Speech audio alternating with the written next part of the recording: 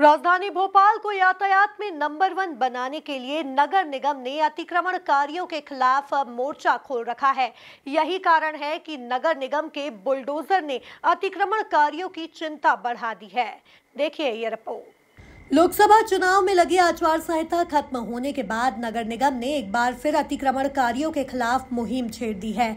आज उसी कड़ी में मध्य विधानसभा क्षेत्र के एमपी नगर दशहरा मैदान, विठान मार्केट और जहांगीराबाद में अतिक्रमण हटाओ मुहिम चलाई गई।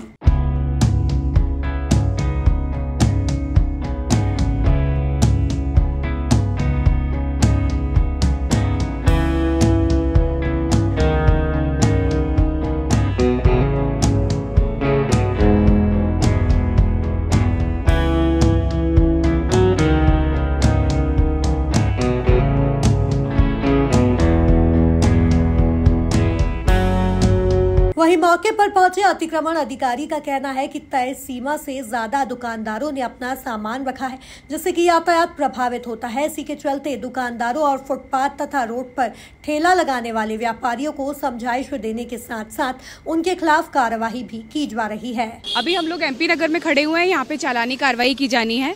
पूरा जो कॉरिडोर है लेमन ट्री स्ट्रीट से, वहाँ पे सभी दुकानदारों पर चालानी की कार्रवाई की जाएगी, क्योंकि उन्हें दुकानदार के दुकान की सीमा से बाहर अपना सामान रख रखा है।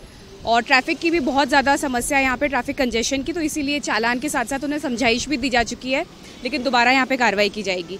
इसके बाद हम लोग बिटन मार्केट जाएँगे, वहाँ पे जो स्ट्रीट हॉकर्स है, वहाँ का मेजर इशू सॉल्व करवाना है। और जिससे कि जो मेन स्ट्रीट पर है, दशहरा मैदान के बगल में, वहाँ पर कंजेशन ना हो। और इसके बाद हम जहांगीराबाद में सारे ऑटो स्टैंड के बगल में जितने भी स्ट्रीट हॉकर्स हैं, उनको क्लियर करवाएँगे।